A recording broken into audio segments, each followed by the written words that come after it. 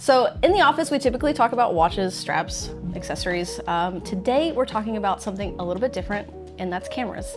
And we have Leica versus Sony in the office today. So this could get a little heated. And I'm Kat Shoulders, your head of content, and I am joined today by Mr. Zach Weiss, our co-founder.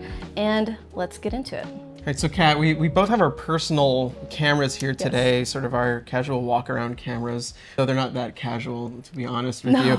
What's your camera? I have the Leica Q3, so this is a, a new to me camera, but very, very special because I have owned the Q system as many times as I've owned many of the watches in my collection, it's a camera that tends to go and come pretty frequently. But I think this one's here to stay, and I'm kind of excited to get into the reasons why, yes. um, but what do you have? So I have the Sony a7CR here, which is a, a new camera to me as well, because it's a fairly new camera in general, only came out a few months ago. I got it the moment it came out, and I've been using it pretty steadily since. It's a, it's a I have a lot to say about these cameras because yeah. over the last couple of years, I've sort of developed my own interest in photography a little yeah. more and what I look for in a camera, which made this one a very interesting proposition when it came out that I had to jump on. Yeah, and I've seen your photography change just on Instagram, you know, in your posts over the last year, I would say, in particular, and the style of your, your shooting has changed and mm -hmm. has a lot to do with maybe lenses and your camera system. Uh-huh. so these cameras are vastly different in a lot of ways, including price point,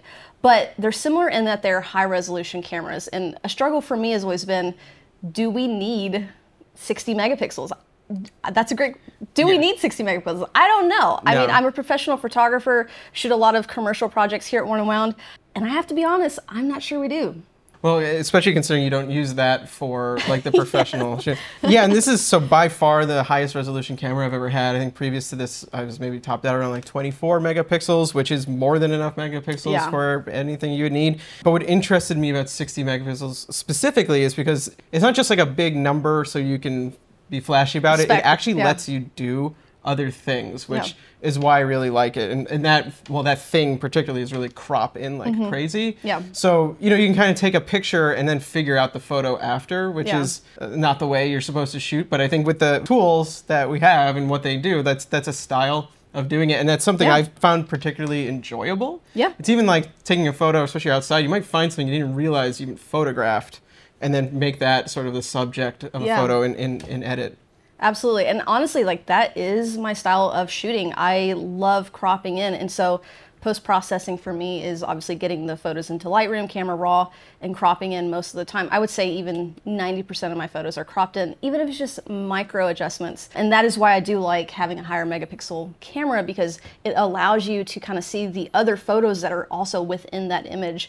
You might get a great landscape or architecture photo and then find mm -hmm. yourself like punching in even closer and closer to a building. Yeah. Same with people, uh, watches. And so I think there's a lot of flexibility and there's a lot more, I would say, room for error with mm -hmm. with mm-hmm. these cameras. And this one in particular, because I have the 28 millimeter fixed lens on this camera, which is probably the highest selling point is the lens on the Q3. A big reason that I bought this camera is to sort of master the wide angle lens, which I feel like I have a lot of room to grow in. And you got on the 40 millimeter today. So one of, one of the things I really look for is just compactness in my cameras. This body, the A7C body coming out with a high resolution sensor was just like this this sort of dream thing for me because yeah, I don't I don't want a cumbersome kit. I keep it, keep it in my backpack most of the time. If I want to walk around the city with it, I don't want like a big thing bouncing off my hip. It, you yeah. know, it's really just yeah, walk around camera, but one that's also highly capable. Yeah. And yeah, my my general walk around lenses is 40 millimeter from Sony as well because it is about as small as you can it's get from close, them. Yeah, very close um, to 28. I think it's only 1.8 inches tall, yeah. which, you know, full frame autofocus lenses, fast ones, I mean, 2.5 is not super fast, but it's not slow either, tend to be very large. So it's just a very nice body, and it makes this a nice a nice kit for what I'm looking for. I mean, this is my only camera really right now. I, mm -hmm. I mm-hmm. mean, I've been like, I have an, another camera, but it's sort of been retired uh, because of this one, and I do use this now for you know some studio shooting as well, yeah. which is just something I'm also trying to grow my, my skill at. So yeah, I will say as far as uh, maybe watch photography goes, mm -hmm. your camera has me beat a little bit because you can interchange the lenses. 28 millimeter, obviously this this 28 millimeter that's on the Leica Q3 has a macro uh, capabilities, which is mm -hmm. awesome for watch photography, but I still find it's a bit wide, um, and maybe it's just a personal struggle. I know lots of photographers who are actually nailing shots Mm-hmm. with with the Q3, and that's what keeps me inspired to kind of master this What is- camera. it is strange though, right? Because Yeah. most macro lenses tend to be on the telephoto side. So like, Exactly, and a 90, 100, 85. do you find you get distortion? You do get a- a little bit of distortion. I think that's just something that I'm, I'm trying to become more comfortable with in general. Mm-hmm. And again, I, I, I kind of like I like the challenge of it though. I, I feel like it's easy to pick up a 40 or a 50 and nail a shot. It's not so easy with the 28. And if, once that you do, it's it's much more rewarding, I guess, for me. But I did want to ask you. So, what are some of the features that really drew you to the Sony? Because you were a Fuji shooter for a long time. you know what I what drew me to the Fuji was the size of it once again. So I Yeah. used to have an XE3, which is just a super compact camera, uh, and then it's uh, APS-C, so the lenses Yeah. are even smaller. So once again, just a really nice walk around kit. I used that with a manual focus lens, which was like a pancake lens. Yeah. But there wasn't that much room to grow. I found in the Fuji line at the time. They just they sort of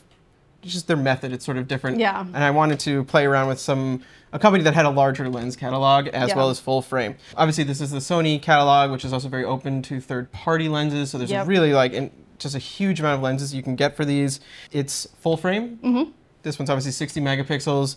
The body is honestly not much larger than the Fuji. It just really it's the grip, small. so it is actually still incredibly compact. It has a movable screen. It also has internal body stabilization. Yeah. It basically has everything I wanted in a camera, just Yeah. in a small body, which, you know, I imagine it does come with some sacrifices, only one memory card slot. And, Yeah. uh, you know, I think if you're a wedding photographer or a professional studio photographer taking it out, you wouldn't be using this per se. But meant, meant more yeah. for the hobbyist or someone that does want to carry a camera every day. I have to give you some credit because I do think your your camera is actually more ergonomic than mine. I think Sony's are just built a little bit differently. Obviously, they sort of have the Mm-hmm. user a little bit more in mind, where mine is more design focused, which is great. But then also in hand can kind of be a pain because you you don't feel as comfortable holding it all day long.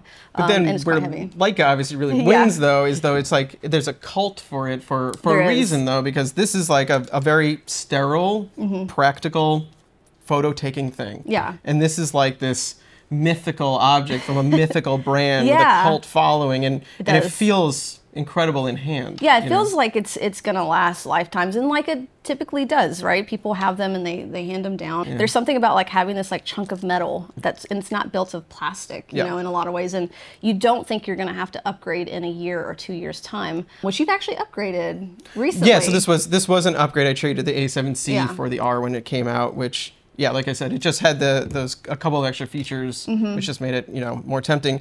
It also has this really cool function which I, I hadn't even heard about before, uh, Mm-hmm. which is called Pixel Shift, which allows you to actually take up to a 240 megapixel image uh, using 16 images and composing it. I've been playing around with this, so we'll show you a photo there and, and just how much you can even crop in further and see these details, and uh, you know use them as full size images if needed. Just like it's just fun geekery for yeah. me. I mean, to be honest, that's what cameras are to me. Cameras are another another hobby. I've owned everything from Sony and Fuji and Leica and now Panasonic even, and it's just sort of playing around and mm-hmm. seeing what you like. I've I've really liked the Leica Q3. I think it's a phenomenal camera. It has its shortcomings. You know, they they did improve the autofocus in it. We have phase detect now, but it's not anything compared to the Sony. The Sony autofocus is so quick, so fast. So there's there's pros and cons to each of these cameras. Do you want something that's going to last you 10, 20, 30 years? Do you want something that you're going to have to upgrade? Do you like interchanging lenses? There's a lot of different mm-hmm. things to look at. And I think that, you know, both of these cameras are sort of top of the game right now for what I would call your everyday carry camera in a lot Yeah, of ways. yeah. The high resolution, it's it's wonderful, it's great. I How's your love it. battery life? I'm not going to talk about battery life. Okay, okay. I'll, I'll leave it at that. Mine, mine is a significant depreciation from the previous and, and maybe so, that's yeah. it's because of maybe the sensors, larger Yeah. sensors. Um, obviously, larger larger resolution. It takes a lot of power to take these these photographs. Mm-hmm. Um, something else that we can quickly chat about is like editing process. I'll I'll be honest, like. I- I don't like editing these high resolution files, and what I found is I've just started shooting in JPEG, or even like compressed shooting too, which is which is awesome because you do in sort of in camera cropping, which helps, and I, I think you probably have that feature as well but I don't like bogging down my MacBook with the the editing of these files and I would much prefer something in the 24 megapixel to like maybe 46 47 Mm-hmm. range uh, rather than the 60 plus Yeah, they're, they're huge files. I've been sticking mostly to JPEG. It's also like my typical workflow when I'm walking around with this is actually to use the wireless connection to my Hmm. phone which works better anyway with the JPEG. Yeah. But then Lightroom Mobile does not like big files. No, it does not. So, it does uh, not. So just something to kind of keep in mind if you're looking for a, higher resolution camera. But I think these are keepers in, Yeah, in I'm- our, in our camera it, yeah. collections for now. Let us know if you want us to talk more about cameras. Leave a comment down below. Be sure to like and subscribe. Uh, and thank you, Zach, for coming on to chat cameras today. Anytime.